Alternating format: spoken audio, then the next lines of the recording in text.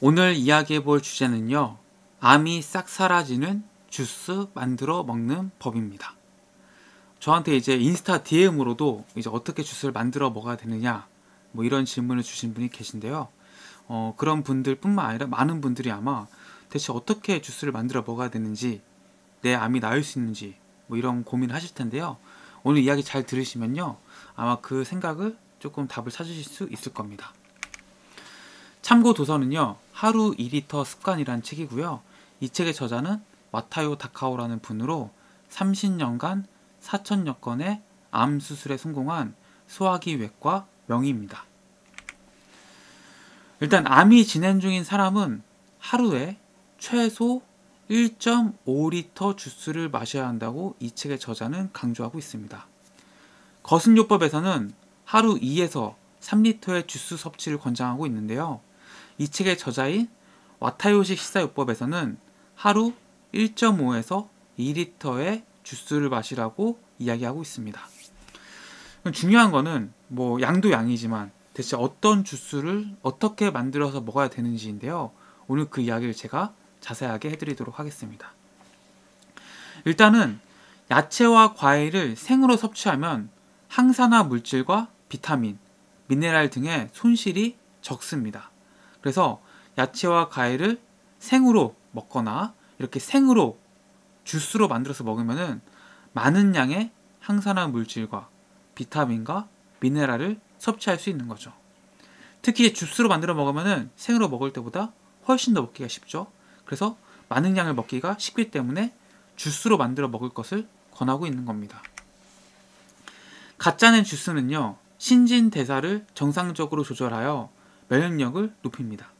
뿐만 아니라 야채와 과일에 든 비타민이나 미네랄, 파이토케미칼은 많이 먹어도 어떠한 부작용이나 폐해가 없다라는 거예요. 그러니까 우리가 뭐 약을 먹으면은 부작용이 있을까 걱정이 되잖아요. 근데 이 생 야채, 생 과일 주스는 아무리 많이 먹어도 그렇게 큰 부작용은 없다라는 거예요. 그러니까 마음 놓고 많이 드셔도 된다라는 거죠.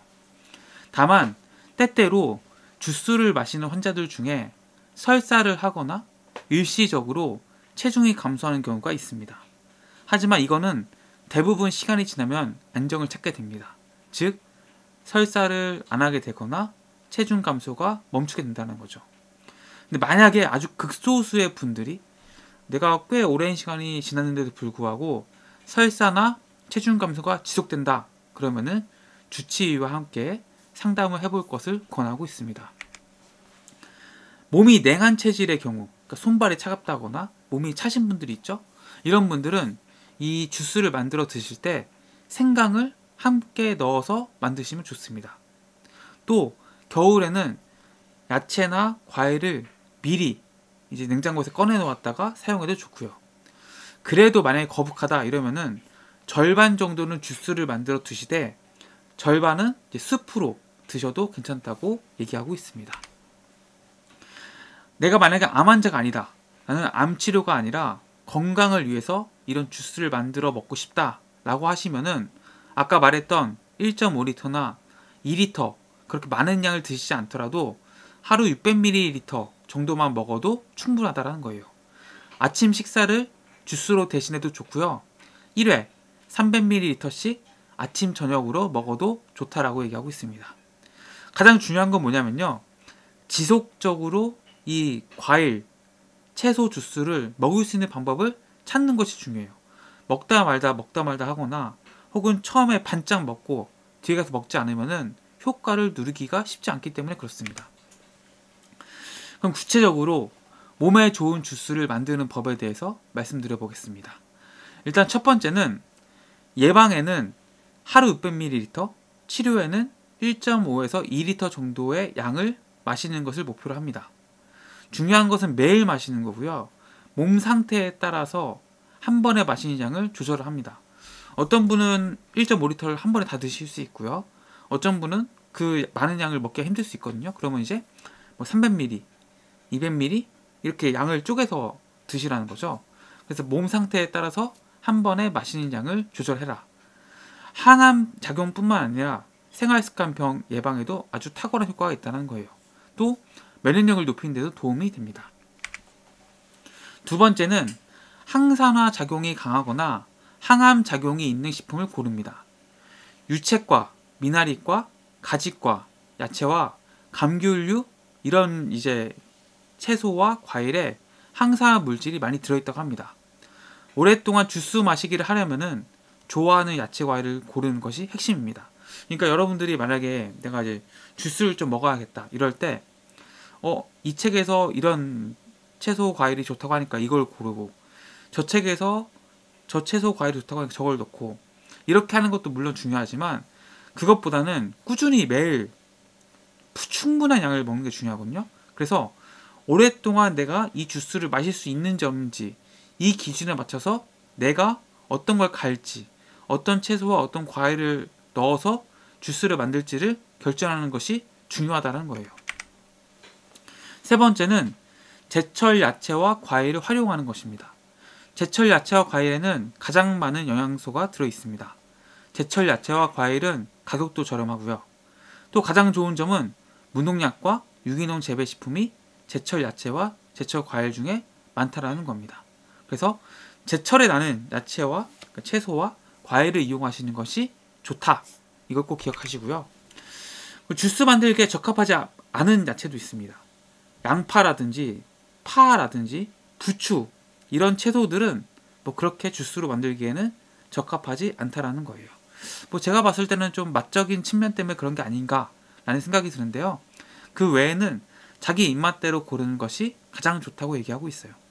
만약에 내가 좀 이게 좀 먹기가 불편하다 이러면은 꿀이라든지 요구르트 이런 것을 넣어서 같이 주스를 만들어도 좋다라고 얘기하고 있습니다.